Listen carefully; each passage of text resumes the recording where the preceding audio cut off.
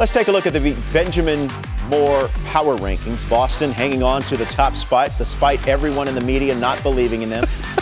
Oh, God. We are the Astros today. I love are it. rounding out the top 10. San Francisco, they take two of three from the Padres.